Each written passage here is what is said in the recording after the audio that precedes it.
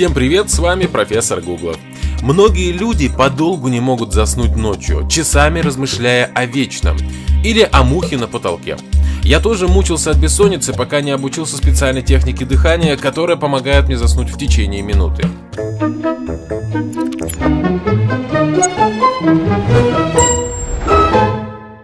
Не поймите меня неправильно, эта техника не анестезия, вырубающая с первого удара и наповал. Она требует длительных и постоянных тренировок, чтобы выработать в теле рефлексы на успокоение.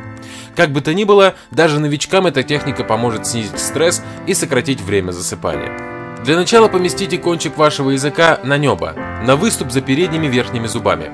Потом с закрытым ртом вдохните через нос на 4 счета.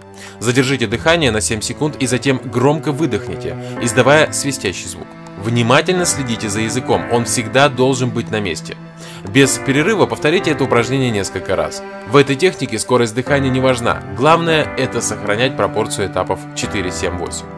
Вдыхайте на протяжении 4 секунд. Задержите дыхание на 7 секунд. Выдыхайте в течение 8 секунд. Расслабьтесь. Эффект расслабленности и покоя, вызываемый этим упражнением, со временем и практикой значительно усилится. Доктор Эндрю Уэйл, профессор и автор бестселлеров, говорит, чтобы извлечь наибольшую выгоду из этой техники, надо выполнять это упражнение хотя бы два раза в день в течение 8 недель. Через месяц после начала тренировок упражнение следует выполнять в 8 повторений. Эта техника применяется для снижения стресса, беспокойства и даже желания покурить и съесть что-нибудь вредное. В следующий раз, когда что-то вас расстроит и попытается сбить с ног, остановитесь на секунду. Расслабьтесь, выполните упражнение и только потом реагируйте на эту ситуацию. Вы будете удивлены своим спокойствием и ясностью мысли. Как уже было упомянуто, эта техника помогает еще и быстро заснуть ночью. Причины подобного эффекта простые. Как все мы знаем, во время волнения наше дыхание учащается, однако это работает и в обратную сторону. Частое поверхностное дыхание может вызвать чувство стресса. Кислород, конечно же, необходимая составляющая здорового тела и ума, однако также важно еще и как мы дышим.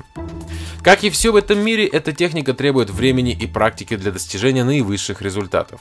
Но если вы готовы посвятить всего минуту в день на выполнение этого упражнения, вы будете поражены. Насколько легко можно контролировать свое эмоциональное состояние. На этом у меня сегодня все. С вами был профессор Гуглов. Ставьте лайк, подписывайтесь на канал. Увидимся.